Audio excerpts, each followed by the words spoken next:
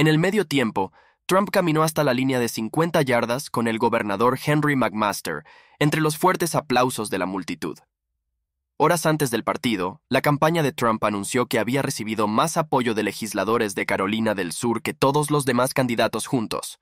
Eso incluye al senador Lindsey Graham, que también estuvo presente, y a varios legisladores estatales que anteriormente habían apoyado al senador Tim Scott.